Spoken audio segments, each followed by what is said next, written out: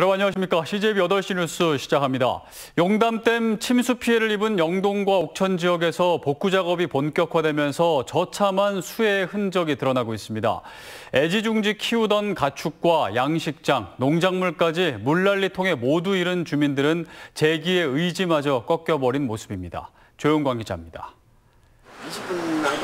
용담댐이 방류량을 초당 3,200톤까지 늘린 지난 8일 박재규 씨는 소들이 떼죽음을 당하겠다 싶어 기르던 소 29마리를 축사 밖으로 무작정 내몰았습니다.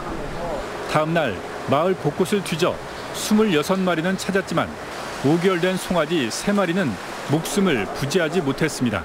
주로 어린애들이 많이 죽었어요. 세 마리 다. 왜 그렇게 보세요? 아무래도 물살에 버티질 못했으니까 빠져 죽었겠죠, 뭐. 이원만 씨는 치어부터 5년째 길러오던 철갑상어 1,200마리 중 300마리를 잃었습니다. 당장 다음 달 판매 계약을 지킬 수 없게 됐고 지금도 흙탕물을 마신 철갑상어들이 배를 드러내고 죽어나가고 있습니다. 뭐 제 가족 같이 지냈었거든요. 뭐 어디 여행 갈 것도 못 가고 그렇게 길렀던 애들을 하루 아침에 당근 추산지인 영동 양산면 일대 비닐하우스 단지는 폭격을 맞은 듯 그야말로 폐허로 변했습니다.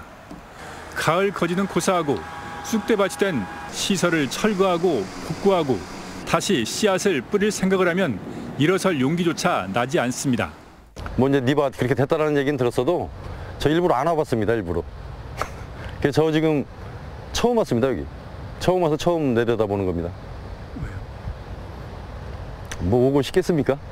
내일은 영동과 옥천, 무주, 금산 군수가 수자원 공사를 항의 방문합니다. 주민들도 곧